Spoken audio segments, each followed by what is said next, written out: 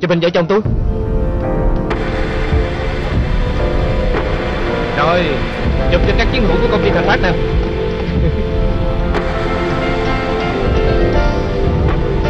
Chụp với người đẹp đấy hơn nè. Ngọc.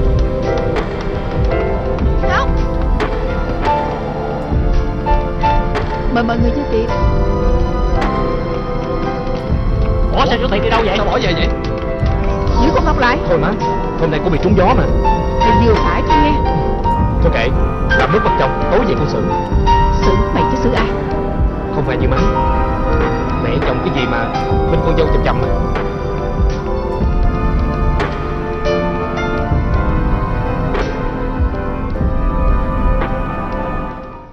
Má không thể hiểu nổi Tại sao Con lại chịu để cho thằng Phát lập công ty riêng.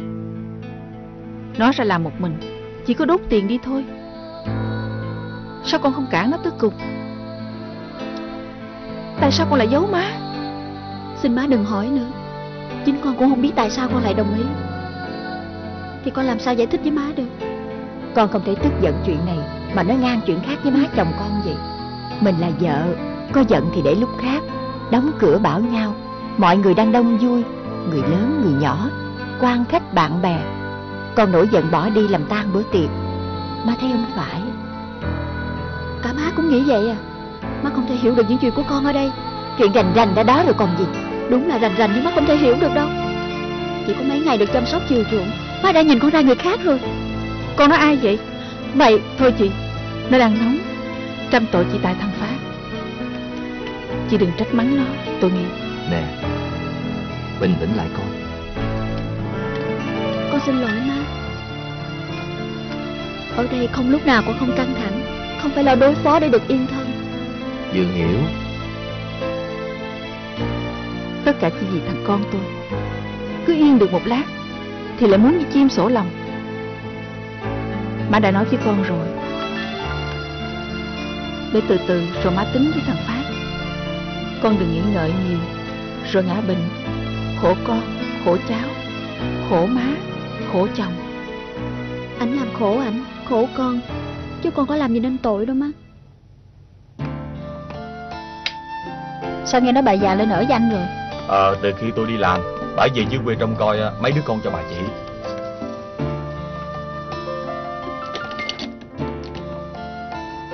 Làm với con Ngọc có tiền Sao không sửa sang nhà cửa vậy vậy Thích để vậy. Uống gì không?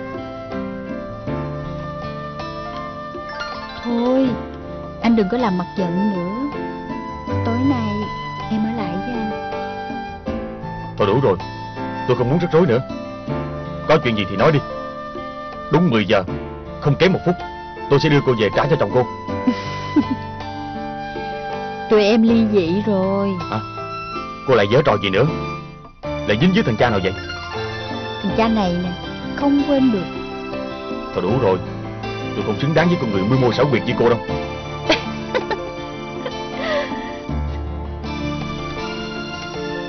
Anh có người khác rồi phải không? Sao trái đắng mà cô tặng cho tôi? Trong tôi không còn chỗ dành cho đàn bà nữa. Vậy sao anh chở tôi về đây vậy?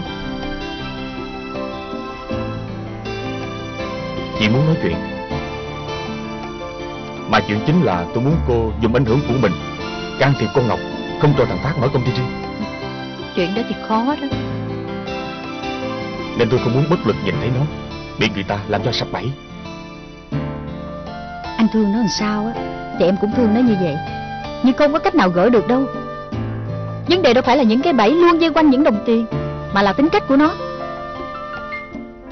Những lúc vì quyền lợi sống còn Cần phải sắt đá Thì nó lại yếu mềm. Ngày hôm nay Phải là người sắt đá Thì nó mới dám phản ứng bỏ về như vậy. Đó là sự yếu đuối. Kẻ sắt đá Là kẻ không biết tức giận trước những tình huống như vậy. Để rồi dùng thủ đoạn mà giải quyết Còn nó. Giận như vậy rồi lại quề ngay. Mà sao khác được? Khi nó chỉ có một thân một mình trong nhà đó. Cô nói có lý. Bây giờ Anh đã hiểu Tại sao em phải bằng mọi giá để thắng lợi trên thương trường chứ. Cô Thì tôi không hiểu Phải chiến thắng. Thì đồng bà tụi em mới làm chủ được đời mình. Mới có được cái mà mình muốn. Cả tình yêu. Cô Lâm rồi đó. Nhưng tôi thấy con Ngọc Được nhà người ta cưng chiều mà nó vẫn quá đáng Chuyện gì cũng phải có nguyên do của nó. Bà làm sao biết được? Nguyên do gì? Chẳng qua nó ý kiếm được nhiều tiền. Đến tôi nuôi đủ mấy chị em nó tới lớn khôn Không đứa nào một ngày đau bệnh Mà vừa động vô con nó nó đã dãy nảy lên. Làm như mình nó là biết làm mẹ. Còn hàng này? Đây là hàng mới nhập từ Đài Loan về. Anh thử thử nha. Hàng tốt có anh? Chị đâu em? Ở trong nhà. Dạ. Chị nhập luôn hàng trong ngày hôm nay cho em nghe Khách đang cần dữ lắm. Có chuyện gì không anh Tám?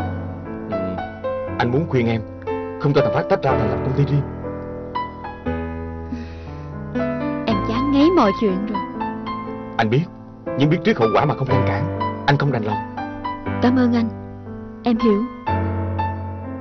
Nhưng chính em cũng bất lực. Đành vậy thôi.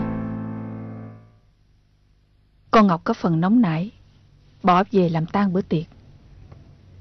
Nhưng nguồn gốc là ở con. Nói năng lung tung Còn sàm sỡ với mấy con đá cá lăn dưa ở đâu vậy? Má đừng nói nữa Dù có chuyện gì đi nữa Thì giữa đông đủ bà con bạn bè khách khứa Cô cũng phải nể mặt chồng cổ một chút chứ. Má thử nghĩ coi Cổ hành động như vậy Chẳng khác gì đuổi khách đâu. Theo má Con nên gặp xin lỗi nó một câu. Hôm trước Con nhậu sai về Không ra sao hết. Nó cũng đã gặp con làm lành trước. Má để con suy nghĩ. Má nói thiệt tình Trên đời này. Cái đứa tính khí như con. Không tìm được người thứ hai biết thương con. Như con Ngọc đâu.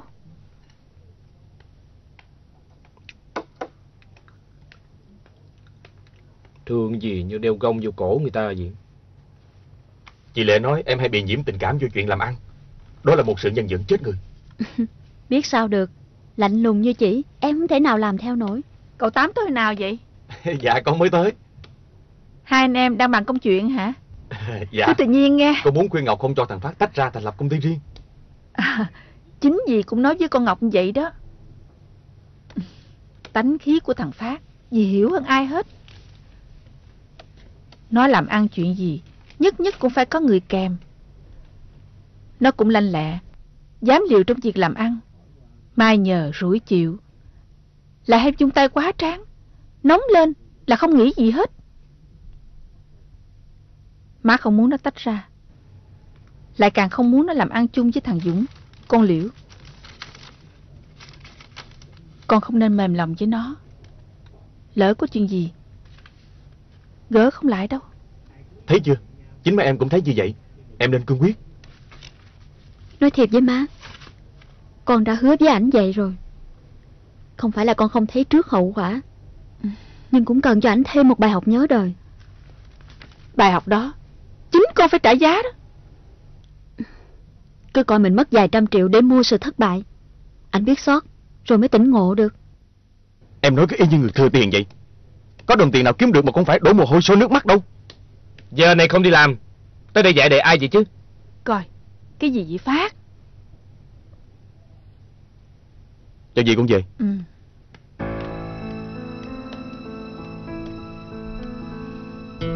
Có phải hôm qua Cô cố tình sanh sự. Vì muốn đổi ý phải không? Cô tiếc vốn bỏ ra đầu tư cho tôi hả? Kìa Con nói cái giọng gì vậy? Giọng sòng phẳng. Sao? Có má làm chứng. Con nói trước sau như một. Ngay từ hôm nay Từ giờ này Anh đi làm thủ tục thành lập công ty. Tôi sẽ tạo mọi điều kiện Để anh tọa nguyện. Ờ Chuyện hôm qua Tôi không còn gì để nói hết Nếu anh còn lòng tự trọng Anh tự suy nghĩ lấy. Anh xin lỗi em mà. Anh đã hiểu lầm em. Tại vì hôm qua anh quá chén Nên đã đánh mất tự chủ. Tôi chỉ muốn bất cứ việc gì Anh phải nghĩ kỹ rồi mới nói Mới làm. Con Ngọc nó thương Nó chiều con Nên mới chịu vậy. Chứ má hả? Má cũng phản đối. Má đợi đó Con sẽ thắng lớn cho má coi Bây giờ anh sẽ tới chỗ anh Dũng Cảm ơn em đã hiểu anh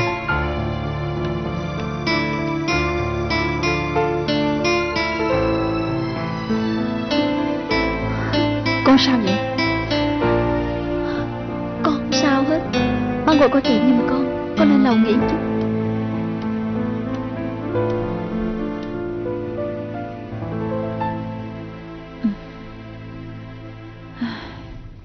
Các ông bà cô bác có chờ ở đây cả ngày cũng chỉ mất thời giờ thôi. Vì chị Lệ hôm nay bận họp trên thành phố cả ngày.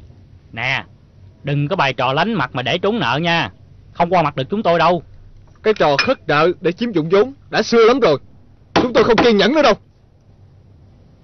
Chơi trò mèo dần chuột như vậy làm sao chịu nổi Chúng tôi mà phát đơn kiện Thì đừng có trách người ta ác nha Nói thiệt với ông bà cô bác. Sự thật, các hàng của ngành may mặc xuất khẩu qua Nga và Đông Âu đều bị ứ động, chứ không riêng gì Hòa Bình. Đó là chuyện hoàn toàn ngoài ý muốn. Ngoài ý muốn, sao lại tiếp tục thu gom hàng? Không lẽ ngoài ý muốn các người Để cho chúng tôi chết đói Rồi phá sản sao Nợ tiền thì phải trả 6 tháng rồi Chờ không nổi nữa đâu Chuyện này chỉ chị Lệ mới giải quyết được, nhưng chị lại không có nhà. Nhưng bà cố lánh mặt chúng tôi quậy cả làng à Chúng tôi sẽ nằm dạ ở đây luôn. Khi nào bà Lệ giải quyết xong khoản nợ, chúng tôi mới về. Phải vậy rồi, giải quyết phải giải quyết cho chúng tôi mới được Chúng tôi là người sản xuất Có mất á là mất mồ hôi nước mắt á. Đúng rồi, rồi đúng rồi. Ừ? Chị cũng đang tìm cách gửi đây Họ đông lắm, họ nói chị không về, họ sẽ nằm dạ ở đây chờ đó. Em biết là không có tiền. Giá mặt về không giải quyết được chuyện Lại còn rắc rối thêm ra nữa. Vì chị? Em chịu đựng một chút đi. Ờ Ờ. Chị sẽ cố gắng lo phần chị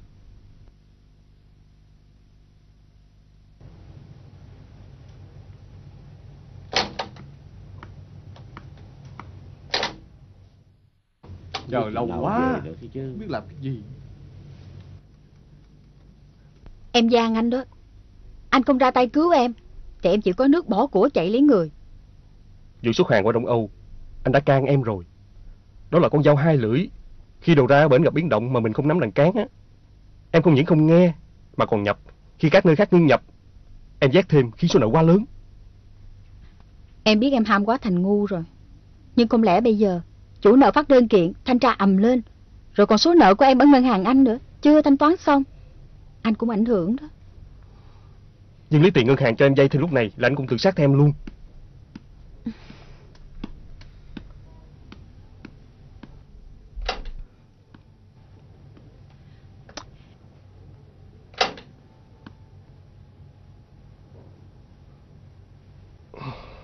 Tình hình sắp tới thuận lợi rồi Chúng ta chuẩn bị chuyển đối sách.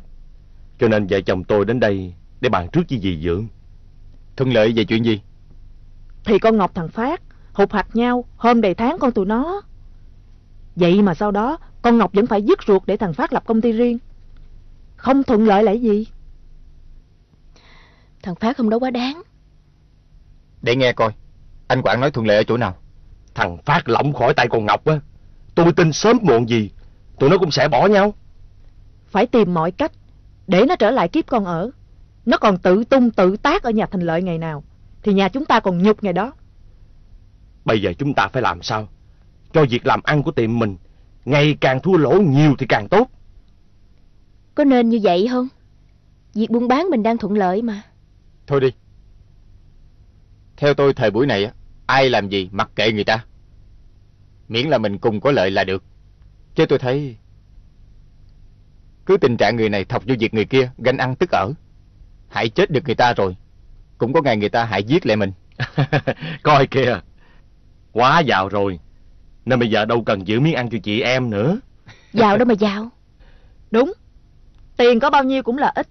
Nên dì Dượng vẫn phải cùng tụi tôi Chiếm lại tài sản của nhà thành lợi. Tài sản nhà đó là của con Ngọc nó tạo dựng nên. Chứ thành lợi nào. Tôi không biết con Ngọc là ai.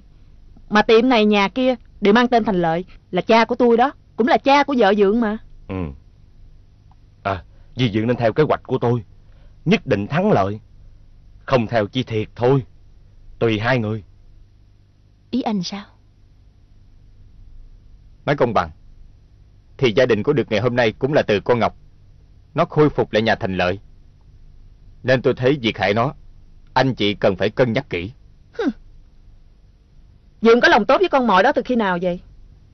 Dượng đừng có quên vụ chiếc bình cổ. Chính Dượng là người bày ra trò, bắt nó phơi nắng, rồi bắt nó khai. Chứ không phải tụi tôi đâu à. Nhưng chính chị là người tìm mọi chứng cớ, buộc tội con Ngọc, khiến tụi tôi phải tin theo. Em đừng đổ cho chị nữa. Tôi chịu hết trách nhiệm vào mọi sai lầm tội lỗi đó. Tôi rất hối hận. Nên bây giờ không muốn làm khổ thêm con Ngọc và bà già một lần nữa. Đúng là thức lâu mới biết đêm dài. Kìa, em đừng nóng. Vì Dượng thay đổi quan điểm cũng có lý. Khiến anh và em phải suy nghĩ lại. Suy gì mà suy? Coi như hôm nay chúng ta không bàn chuyện gì hết nha. Chào người tốt. Không biết tốt đỏ tốt đen đây.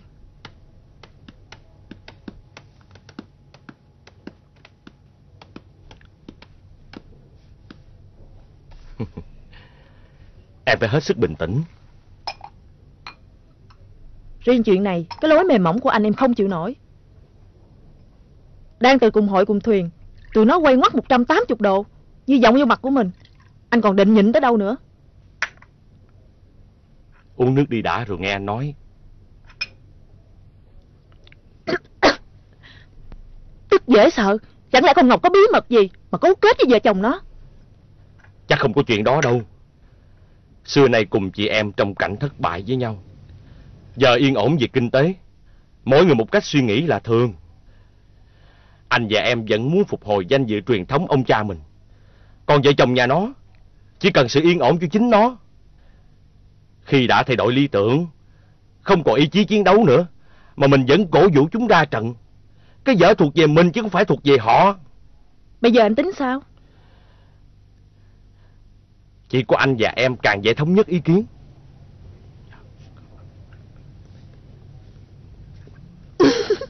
Anh đúng là con cáo già.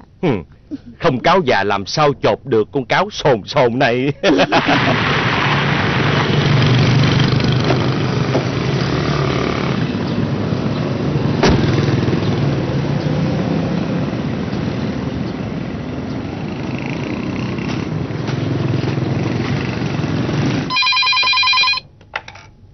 Alo, Ngọc Nga đây. Hello. Khỏe không cưng? Chị có việc rất cần nhờ em. Em tới chị hay là chị tới em? Có chuyện gì mà chị quan trọng khác thường quá vậy? Dạ được rồi, ở đâu vậy chị?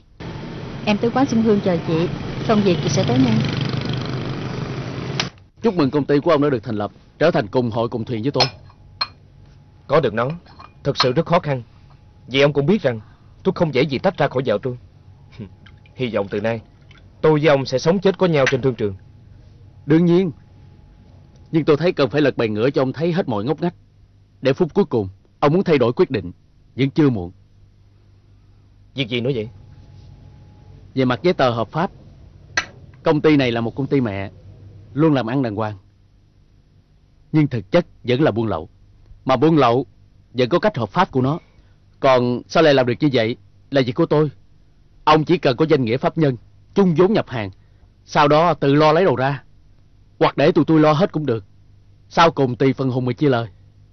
Tại sao ông không nói từ đầu với tôi? Có những việc thà chết người ta cũng không bao giờ nói với người chưa vào cuộc. Vợ chồng sánh liễu cũng chấp nhận à. Đương nhiên, có ăn ai mà không tham. Có một điều tôi vẫn không hiểu. Con đường của ông thực sự là đùa với lửa. Càng bành trướng, mối nguy hiểm càng lớn. Xong vẫn mở rộng mạng lưới. Dễ hiểu thôi. Mạng lưới càng rộng, lợi nhuận và thế lực càng lớn. Thế lực càng lớn, thì hệ số an toàn càng cao. Sao? Đủ gan theo không? Đừng bao giờ hỏi thằng Phát câu đó. dám chơi dám chịu là cùng chứ gì. Ok, sanh tử.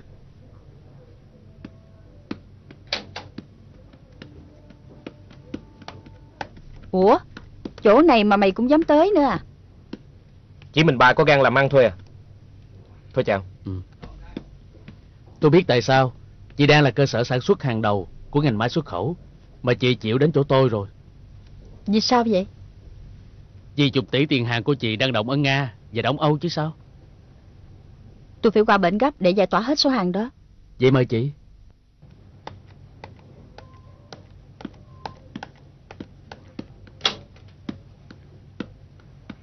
Anh cung cấp cho tôi những đầu mối của anh ở bển. Còn tôi sẽ chia phần trăm cho anh theo đúng luật.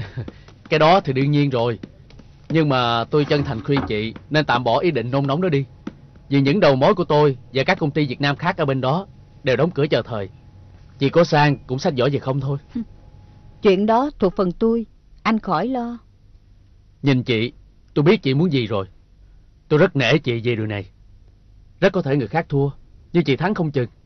Tôi sẵn sàng ủng hộ Tuy nhiên dù thắng hay là thua Cũng xin chị 5% trị giá vốn. Anh quá tham lam và tàn nhẫn Nhưng tôi chấp nhận. Còn điều gì nữa? Còn chuyện này của người khác Nhưng tôi thấy cần phải nói với anh. Đó là chuyện của thằng Phát. Nó không phải là con người hạp với trò chơi của anh. Anh tha cho nó đi. Tôi thương con Ngọc. Tôi hiểu ý chị Nhưng mà nó đã nhập cuộc rồi Lời khuyên của chị hơi bị trễ. Tôi cũng sẽ suy nghĩ Xem mình có lương tâm không đã. Anh thì phải dùng lý trí Chứ cái đó thì hơi khó rồi đó. Tạm biệt.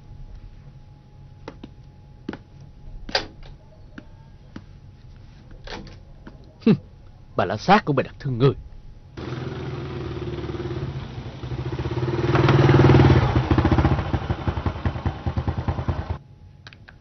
Tao mới mua một bộ mỹ phẩm Rì lông 300 ngàn Nè. Làm ăn ở đây không được Chắc có ngày tao với mày phải xài hàng giả quá. Ủa mới về hả cưng? Làm gì mà chui vô phòng tôi cả đám vậy? Ủa sếp Ai ăn hiếp sếp của em mà coi mặt sếp tội nghiệp quá vậy? Điên Thằng Dũng của mấy cô Là thằng khốn nạn. Dũng đâu phải của em. Anh nè. Đi ra Cấm đứa nào quấy rầy nghe.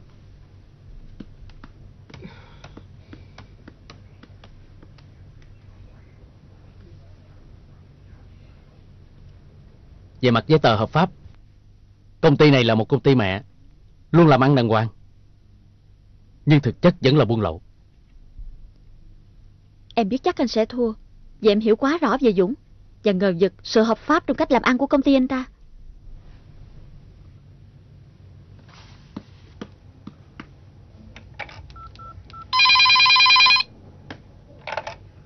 Alo Ngọc Nga đây.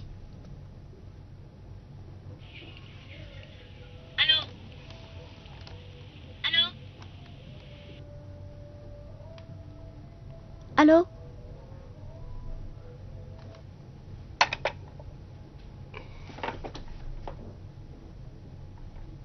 Em tới hợp tác xã. Chị phải đi ở thuê Trốn chui trốn nhủi. Chị không dám giác mặt với các chủ nợ nữa. Không thể ngờ Chị đang thắng thế ào ào Chị tính đi lần này á, Thắng thì về, Còn nếu thua thì chị lặn luôn ở bển. Trời, Sao chị bi quan quá vậy?